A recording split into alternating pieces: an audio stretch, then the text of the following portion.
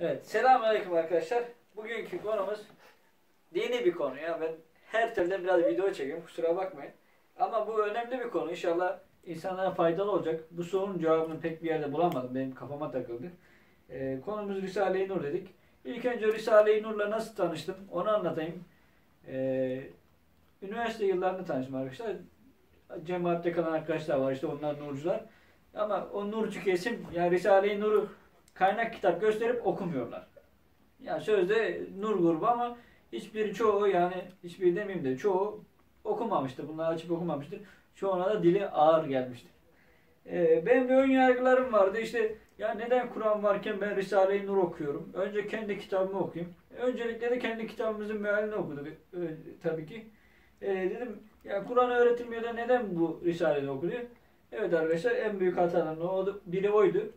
Çünkü zaten Risale-i Nur'un konusu Kur'an-ı Kerim.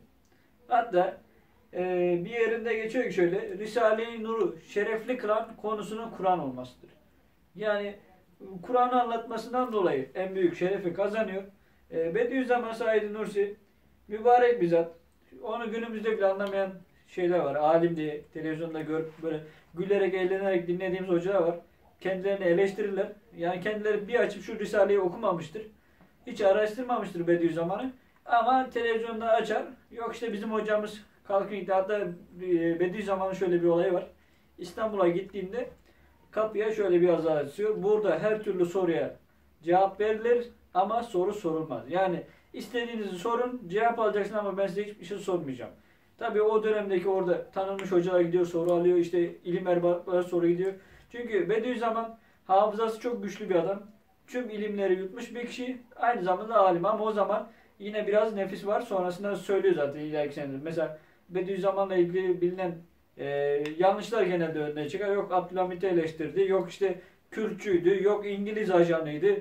Yok işte kendini kibirli gördü. Bunların hepsini gençlik yıllarında yaptığını, sonra da işte birinci Said, ikinci Said diye ayırdığını, hatta ilk dönemlerde e, siyaset yaptığını anlatıyor. Siyasetin kötü olduğunu sonradan farkına varıyor. E, dindar bir insan yani Risale-i Nur'la uğraşmak daha faydalı olacağını düşünüyor. Onun için Risale-i Nur'a veriyor kendini. Toplamda 14 kitap yazmış arkadaşlar. Yani hepsi birbirinden değerli. Ve Mevlana'nın şöyle bir sözü var arkadaşlar. Diyor ki eğer ben Bediüzzaman zamanında gelseydim ben Risale'yi şey pardon Mevlana diyor Bediüzzaman diyor ki ben Mevlana'nın zamanında gelseydim Mesnevi yazardım. Eğer o benim zamanında gelseydi Risale'yi yazardım. Ee, Bediüzzaman diyor ki bu sözler yani sözler diyorum Risale-i Nur bana yazdırıldı. Bunlar Allah'ın bana bir hediyesidir, lütfudur. Ben Risale-i Nur'ların talebesiyim. Hatta kendisi bazı yazdığı risaleleri kendi yazdığı halde binlerce kere okuyor. Yani kendisine yazdırıyor. Peki sadece e, bu tür kitabı yazan Bediüzzaman Hayır. Mevlana kendisi diyor zaten Mesnevi yazdırıldı. Mesnevi mübarek bir kitap. Onu da çoğu kişi dili ağır diye okumuyor ama tabii şu an günümüzde sadeleştirilmişi var. Ee, ondan sonra İmam Gazali'nin vardı. Onun tam ismi aklıma gelmiyor. Müftahal Kulüp diye bir kitap var. Kalplerin Anahtarı diye bir kitap var. Ondan sonra Muhittin İbn Arabi'nin Fususul Hikem diye kitap var. Yani şu ana kadar benim duyduğum, bildiğim 5 kitap var. 5 evliya var. Bu şahıslar, mübarek zatlar diyor ki bu yazdığımız önemli kitapları Allahu Teala bize yazdırdı. Diğer kitaplar için demiyorlar ama. Sadece önemli gördükleri kitaplar hakkında söylüyorlar. Ben de baktım ki sadece Bediüzzaman söylemiyor kardeşim bunu. Dedim bir bakayım okuyayım. İlk aldığım gençlik risalesini anlamadım ya bıraktım öyle kaldı. Ondan sonra e, ben e, Semerkant dergahına bağlıyım. Adıyaman Menzil cemaatine öyle diyeyim. E, orada da tarikat büyüklerimizden, şehirlerimizden biri herkes Risale'yi okusun demiş. Ben de ön yargımı kırmak adına ve şeyhim de söylediği için okuyayım dedim. Tabii çoğu Sofi de okumamıştır.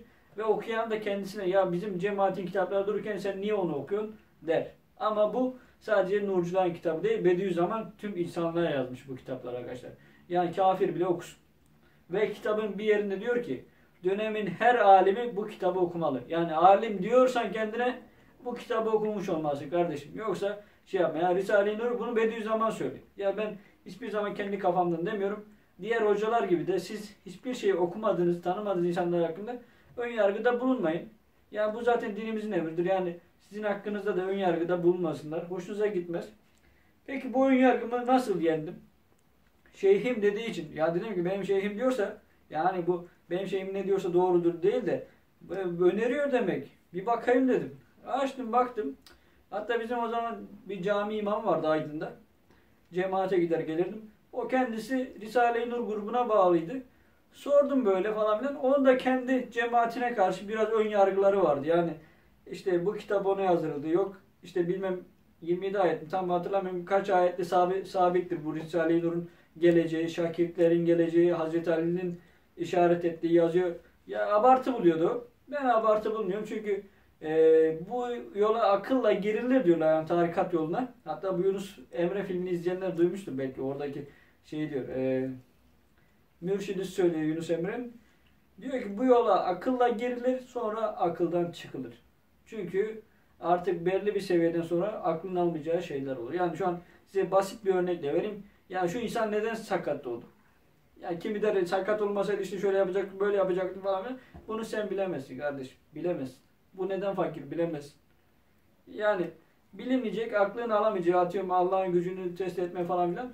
Bunlar bilinmeyecek şeyler. Onları geçelim. Şimdi ben Risale-i Nur'a devam edeyim. Evet arkadaşlar dedim imamdan sordum. İşte Risale-i Nur var mı dedim. Var dedi. Pardon dağıttım dedi ilk önce. Ben de üzüldüm yani.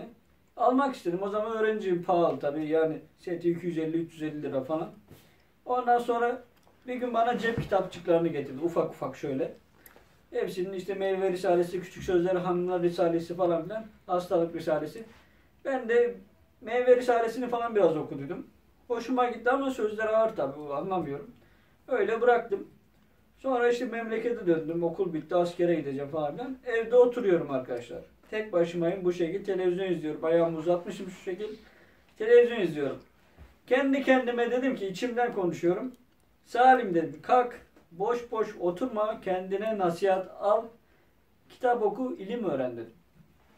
Geçtim içeri. Rastgele bir risale seçtim. O da sözlerin küçük şey cep kitapçı halinde olanmış. İlk sayfasında yazanı size okuyacağım arkadaşlar. Gerçekten burada beni çok etkilemişti. Bismillahirrahmanirrahim. Ey kardeş, benden birkaç nasihat isterim. Sen bir asker olduğun için askerlik temsilatıyla, sekiz hikayecikleriyle birkaç hakikati nefsimle birlikte dinle. Çünkü ben nefsimi herkesten ziyade nasihate muhtaç görüyorum. Vaktiyle sekiz ayetten istifade ettiğim sekiz sözü biraz uzunca nefsime demiştim. Şimdi kısaca ve avam lisanıyla nefsime diyeceğim. Kim isterse beraber dinlesin. Bakın diyor ki yani sen benden nasihat istedin. Sen de bir askersin. Sana 8 ayetle 8 asker hikayesini anlatacağım diyor. Kim e, eğer isterse beraber dinlesin diyor. Ben bunu şey yapınca böyle elhamdülillah dedim ya Allah benimle konuşuyor. Yani gerçekten samimi bir niyetle isteyince bir şeyi Allah Teala size karşılık veriyor. Burası beni cezbetti. Ben ondan sonra merakım tabi arttı. Askere götüremiyorum. Akşam askere gideceğim. Risale'yi askere götüremiyorum. Ondan sonra işte askere gittik. Orada Risaleci arkadaşlara denk geldik. Usta Birliği'ne gittim. Usta Birliği'nde de 2-3 tane, iki tane Risaleci arkadaşım vardı. Bunlar okuyucular grubunda Risaleciler öyle tanımlıyorlar kendilerini. Ya onlara onlar böyle okuyordu ama anlamıyoruz. Dili ağır. Neden anlamıyor falan filan. Sonra bana telefondan bir tane Android uygulamasını söyledi. Risale-i Nur okuma programı diye. İndirdim. Tüm Risale-i Nur'la var. Kur'an meali var. Kur'an var. işte Osmanlıcası var. Ondan sonra ilmihal var içinde. Mesela açıyorum bir Emirdağ Risalesini atıyorum. Kes bir imtiyaz. Mesela üstüne tıklıyorum arkadaşlar. Hemen anlamı çıkıyor. Şöyle göstereyim kamerada. Şöyle üzerine tıklayınca hemen anlamı çıkıyor arkadaşlar. Çok güzel dedim. Hoşuma gitti. Öyle okumayı daha da arttırdım. Telefona indirdim. Sürekli okuyorum. Fazla bir hafızanız da harcamıyor. Ondan sonra arkadaşlar sürekli böyle o risaleci arkadaşlar akşam topluyor. Salim gel sohbet edelim falan filan namaza çağırıyorlar işte şey yapıyor. Zaten namaz kılıyor mu? Beraber kılalım. Başka sofi yok zaten. Onlar da risalecili. Geldik oturduk sohbet yapıyoruz. Başka gelenler oluyor. Komutanlar geliyor dinliyor falan filan. Bayağı bereketli güzel oluyordu. Ama hala ben daha dilin ağır olması kafama takıyorum. Arkadaşlara diyorum ki yahu bu neden sadeleştirilmiyor? Neden herkes okumuyor? Çünkü kime sorsam dili çok ağır. Aslında güzelmiş ama dili ağır.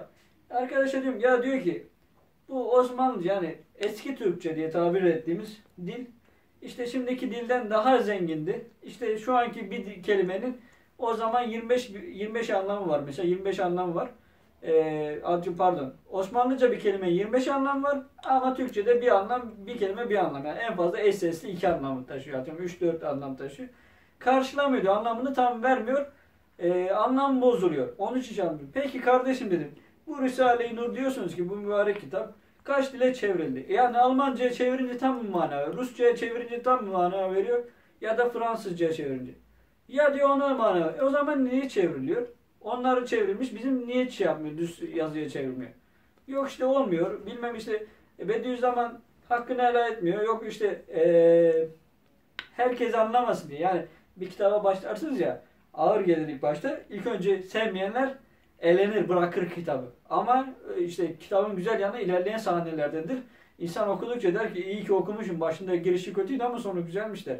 Ya bunu öyle tanımlarlar. Yok işte e, herkes e, görmesin. Sadık olan bu kitabı okusun okusun anlasın. Ya ben bunların hepsini bir kenara bırakıyorum arkadaşlar. İki yıldır ben de okuyorum hatta üç yıl oldu. E, gerçekten güzel bir kitap ama hiçbir risalecinin vermediği bir cevabı vereceğim size. Bunu zaten bu sebebi Bediüzzaman açıklamış. Yani benim verdiğim değil. Ben tesadüfen tefekkür ederken öyle aklıma gelmiş bir kısım Risale'den okuyorum size. Emirdağ layıkasından Emirdağ layıkası 1. Ya yani programda bir. Burada tek kitap olabilir. Ee, sayfa 99. Ne diyor? Risale-i Nur Kur'an-ı Mucizül Beyan'ın tahtı tasarrufunda olduğundan ona uzanan ilişmek isteyen bir ilişmek isteyen her el kırılır ve her dil kurur. Yani subhanallah şu Risale-i Nur'a laf ederseniz el uzatırsanız eliniz kırılır. Dil uzatırsanız diliniz kurur. Bu önemli bir kitap. Çünkü zaten Allah'ın yazdırdığı dini bir kitap, dine hizmet eden bir kitap. Bu hizmeti eleştirmeye arkadaşlar. Önce okuyun ondan sonra fikrinizi beyan edersiniz. Ee, Kur'an-ı Beyan'ın ve ma erselne min rasulin illa bi lisani kavmi. İbrahim suresi 4. ayet.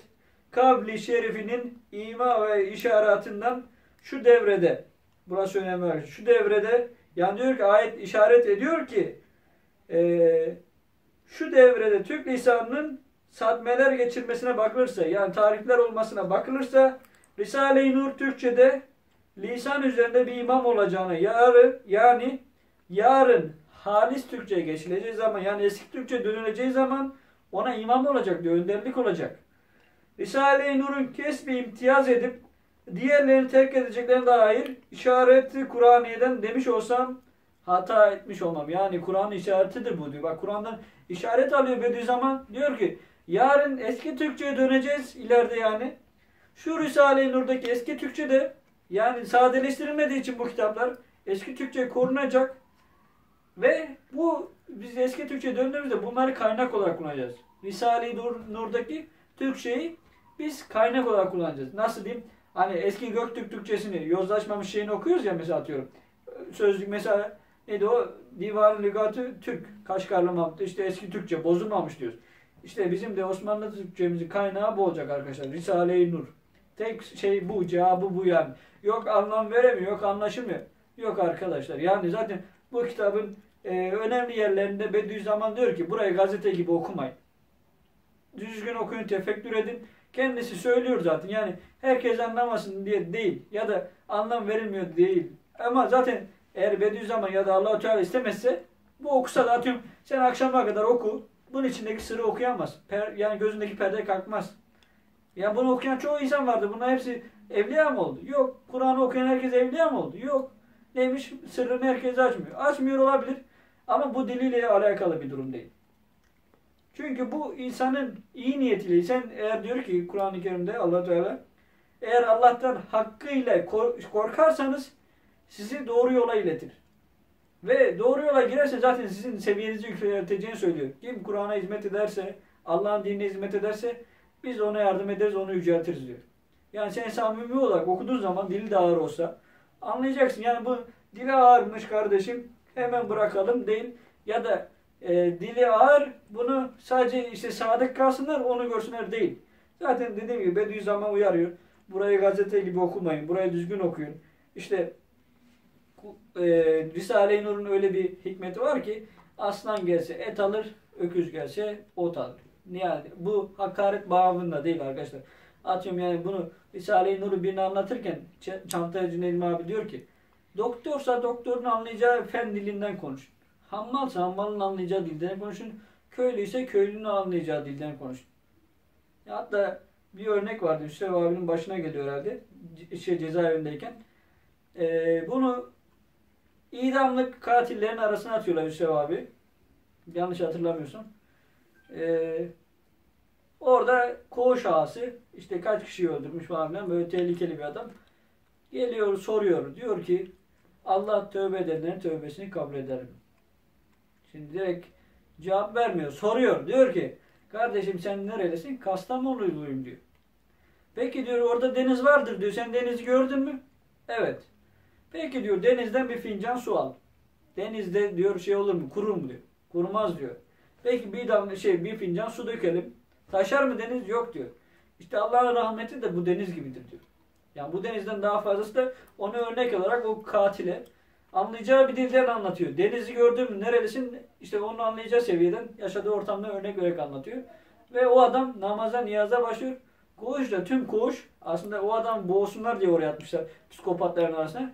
Ama tüm koğuş bakıyorlar namaz kılıyor zikir çekiyorlar falan filan.